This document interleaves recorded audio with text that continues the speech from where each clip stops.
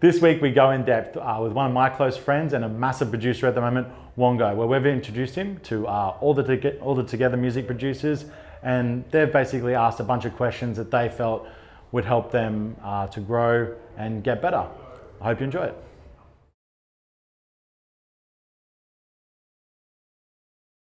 How I got into DJing was just was actually partying, which is probably like most most people. Um, but I went over. What was actually I started producing first, so I went over to a friend's house, Little Fritter, who's also from the Gold Coast. He was um, showing me some tracks that he just put together on his computer, and I still didn't quite understand how that's how dance music was even made. And um, and I pretty much said, you know, what do I need to do to get started? And he's like, just buy good equipment right from the get go. He goes, buy buy a Mac, like an upgraded Mac, buy a keyboard, you know, buy a sound card. So I went out and I, I think I spent like 5k on my first little setup, and um, and just just started teaching myself. It was before the times of YouTube, so you sort of had to just fumble your way. So I think it took me like a year to finish Yeah, my what first year track. is this, just for retrospect, 'cause it's 06?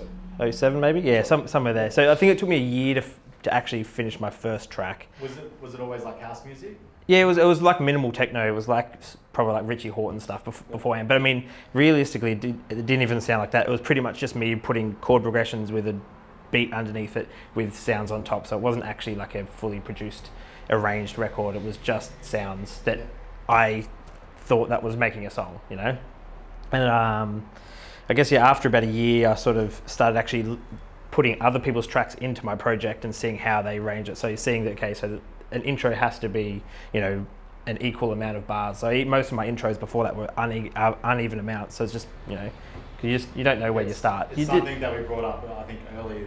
yeah, yeah, just figuring out like, okay, so why is it, you know, why is there a minute and a half intro on one song and 30 second intro on another song? It's, you know, because different genres need different things, you know, especially with house and techno. Like, I did a track the other day which has a two minute intro and a two minute breakdown. So the actual tr- track doesn't even drop till four minutes, but that's the world that that track lives in is, a, you know, different to what even when I'm DJing. I don't usually play tracks like that.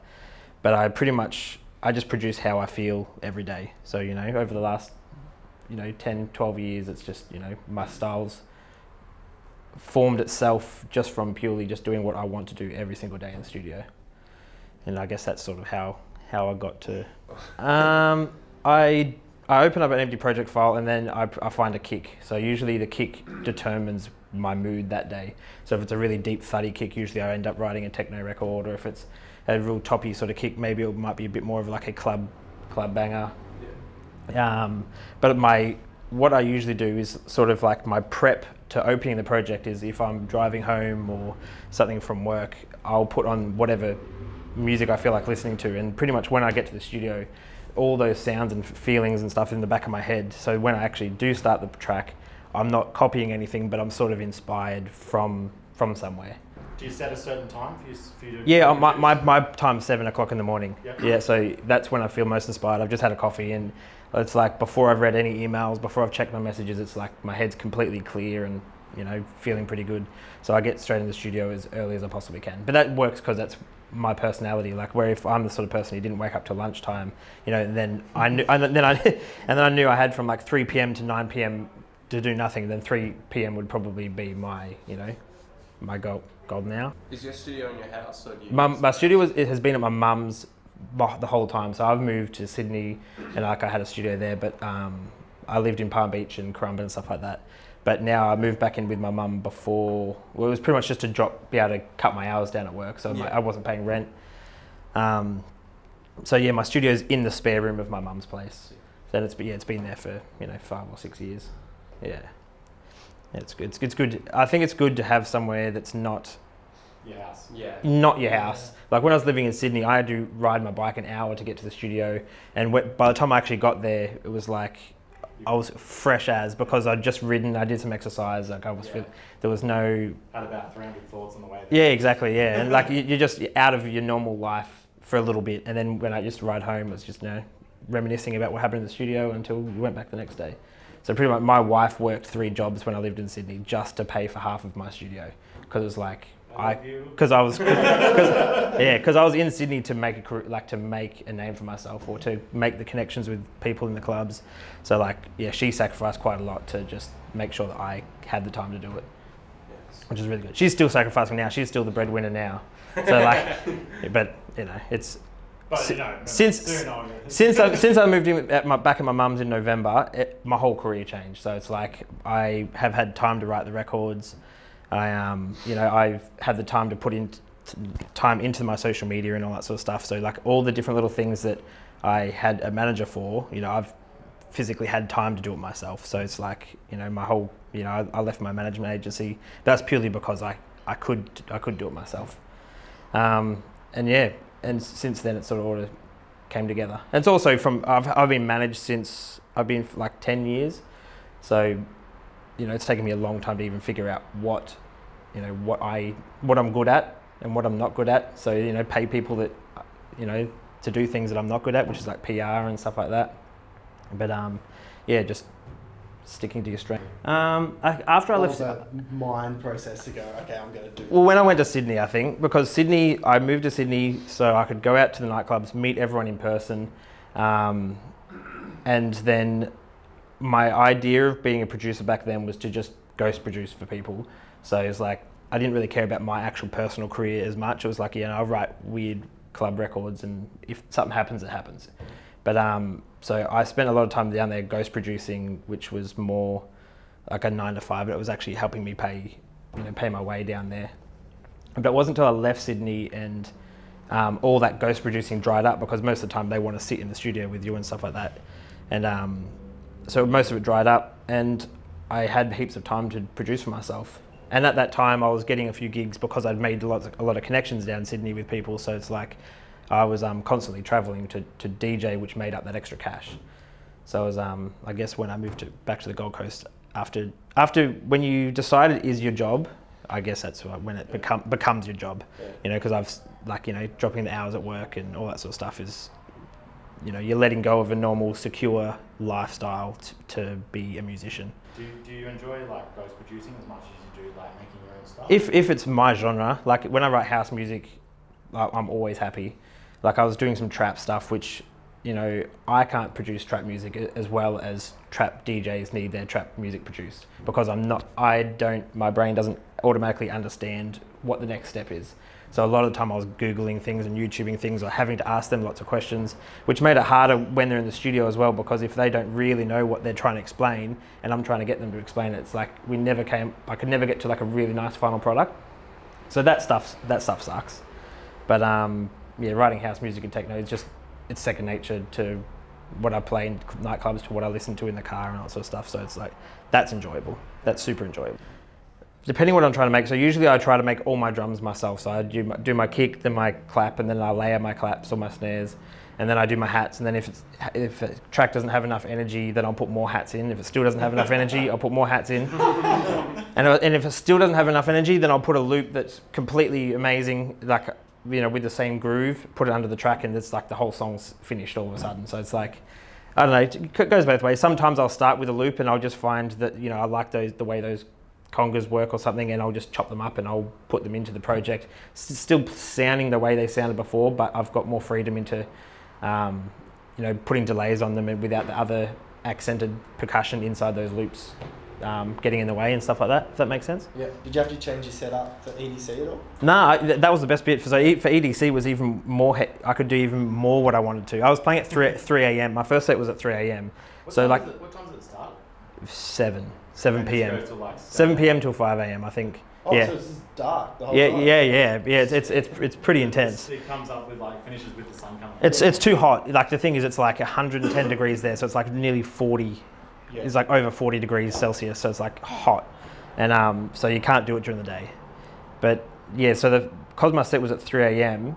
It was like I was formatting my set to to start techno and then move into like more deepish stuff and then finish with techno. So that's pretty much what I did. So that was how my I structured my set. It was like okay, I'm after Chris Lorenzo, who's going to be playing like super UK based stuff, and um, what's what's going to have more energy than that, you know, because obviously I want to impress the crowd first track. So I just played a, a techno record because it's techno records just thumpers. So it was like that was my sort of way of thinking. I've still played some bass stuff. I played some housey stuff, but yeah, it was um yeah played whatever I wanted to. Oh, that's amazing. Yeah, and then the, the next day, like I did the pool party at 1 p.m. the next day, and that was like seriously just people in pools and people just laying down on the grass. So I for that set I just played sort of like Eli Brown sort of um, Solardo housey sort of stuff, stuff that I still like listening to, but wouldn't typically be a Wongo set. So I do you know move to the occasion, but you know when you've got three of the biggest agents in America like standing side stage, you sort of mm. do the right do the right thing. Not going to play bangers. Yeah. Yeah, yeah. I mean, there's, there's heaps of shortcuts. Like, sh- shortcut is one, a major shortcut is Splice. Like, if you guys use Splice, that is like I only discovered it recently, and it's like the best thing that's ever happened to me. Everyone's been talking about it a lot. They're like, it's, it's pumping. Like, Well, seriously. So, so the point the point is like I was like, saying when you can't finish when you when your track doesn't sound full or doesn't sound finished, and you're like, what is it missing? Then you're like, okay. Um, I like the drums in it, so I'm not going to touch the drums. Maybe it just needs like an atmos- some atmosphere behind it. Maybe it just needs some thickness. So you'll, I go on a splice, I click what key, key it is, and like instantly, like I go through ten things that all fit the track, and like, and you know, and then it's just a matter of finding, you know, using that and putting it in there, and then the biggest thing about me as a producer is processing. It's not so much the sounds I'm using or the drums I'm using, but it's like the post processing. So like once you've like not steal, but when you, when you use a sam- sample from someone else's catalog, just try and turn it into your own somehow. And they just do that through through third party plugins. If that makes sense. Yeah. Um, have you just sort of like moving on to um, another part? Is have you sort of had any time like in that ten year space where you've gone, nah, like I don't think this is going to happen. Yeah, I mean every day. to be completely honest, still every day. I'm an anxious person, and like How, like how do you help you inside that? How do you help yourself get past? Yeah, I, I mean, that there was there a was a, last year. So like, I got married in the in November two years ago, and last year I just genuinely wasn't that excited about music. So it's like, I, it, like you know, I was still producing, I was still trying to write re- records, I was still DJing a lot, but like I wasn't, you know, I wasn't in the mind frame that, that music wasn't my my goal at that for that you know for 12 months, which really hurt my career because it was like at a point where I, I needed to start stepping up, and it wasn't till I st- just did what I wanted to do, like just did, write the music that you love, like you're saying, trying to please people. Like I feel like uh, because I, didn't have that much time for music, like brain space for it, I was trying to please people in the small amount of time that I had. And it wasn't till I stopped doing that and I just did what I love doing again that everything that I, you know I finished three records in a week and then you know I I got them all signed. They all sounded like me. They all you know I was getting my message across through the music. So I mean, I guess it's just do it do it for the right reasons. Like you you'll fall out of love with music and you'll fall out of love with producing if you're not doing it, not doing what you want to do. You know, if you if you were writing trap music and, and you actually really like house music now, it doesn't mean you have to keep writing trap music. You know, it probably means you have to start a new alias. You know, as far as getting signed to record labels, but um, but that's a, that's like a another thing that you know it's another step. You, that's not you shouldn't stress about that. You should be like, okay, well if I feel like writing house music today, I'm gonna fucking write house music. Do, do you have um, a particular way like when you hit a wall, like where you Yeah, pr- just produce. Seriously, like if I if I'm in a really he- weird headspace, and I'm like I'm sitting in the studio and I'm like I've been listening to the same loop for for, for, for 30 minutes, and I'm like I'm just like I just I'm not feeling this. What I'll, I'll either I'll either close it and I'll start another thing, and then and if, usually then it starts you start a new loop and you're feeling it and you get somewhere because your brain's left whatever mood that was the other one was in, or I have a cold shower. So like having a cold shower, seriously, will just reset your way your brain's feeling, and you'll go back in there and you'll and you'll work on it.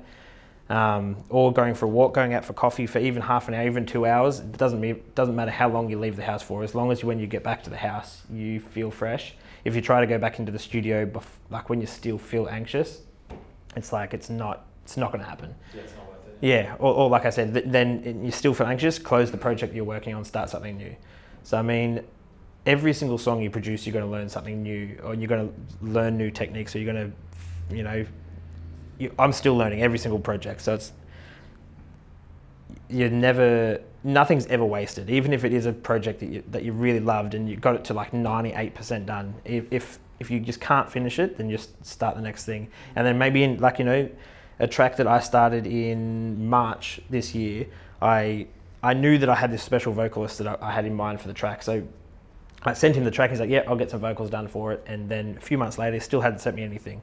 So I hit him up two days ago, and he's, he's like, oh, "Okay, yeah, I'll do it." So he sent me vocals within 24 hours, and then and I start, kept working on that track from March. So it's like, you know, even though it could have been wasted if I never followed up that lead, you know, it's now it's turning into a track that I really want to produce and finish. So yeah, don't ever waste anything. Don't ever delete projects. Just just leave them there. Because another thing that I want to do is because I have got so many unfinished projects is to like do a sample pack. You know, make my own sample pack. So I've got you know 50 projects full of cool sounds that I've spent time on liking, and then if I just export them all, put them into package and, and sell it. So it's like nothing. Yeah, never. Splice. So yeah, go to Splice. Yeah, exactly. and then download my own samples. oh man, this is sick. Who is this Wongo cat? yeah, so I mean, if you're ever not feeling it, or if you're ever stuck, just walk out, walk back in when you're feeling right. You know, sometimes I'll start producing at 7 a.m. I'll get to about lunchtime and I'll be complete. I'll be like, nah, I'm not going back to the studio today. I've, I've done enough work for today. I feel good, you know. And then at 5:30, I'm like, oh, I'm a bit bored. I'm going to go to the studio, and then I just go back to the studio. You know, there's no start or end time. It's just whenever I feel good about it. Yeah, I'll give you my very honest feedback on this one. um, I think like 60% of it is marketing, even 70. I think like, I mean, to get to the point where I am now, I think that it's taken, it's 70% who I am and what I am that's that people are, are, the reason why people are watching me. Yeah, I, I, seriously think like a large part of it is who you are and what you are, yeah. and until you get to the point where uh, who you are and what you are is like you know people people like you, and then it's like okay, well I'm writing heaps of records, but I'm not getting bigger than this, and it's like okay, why? And it's like well you haven't hit a you haven't made a hit record, so the next job is to write a hit record so your music can be at the same level as who who you are and what you are. Um, I think running a record label is zero percent. I don't think it's important whatsoever. Um, the reason we started a record label is because no one was signing my records, and I felt like I was big enough to to have my records signed. Plays, yeah. yeah, so yeah, like I, I, it needed to happen. So starting a record label, I mean, it still took you know 16 months or a bit longer to get some traction on the record label, but um, but that's helped me now that the record label is growing at a fast pace. It's also helping my career it's because people know who I am and what I am. Even if I haven't got a track out for six months, they still know that I'm busy. They know that I'm doing things. Yeah. So I mean that I think that's if you're not writing a lot of records, sure, then a record label is a really good thing. Or be, being a manager or being a, uh, an agent, you know, being in the music industry, being current. I just want to say a very special thank you to Wongo uh, for coming in and talking to all of our artists and answering a lot of questions and, and obviously giving his thoughts on some of their music. Uh, if you enjoyed this video, make sure you give it a like and subscribe, and we'll see you next week.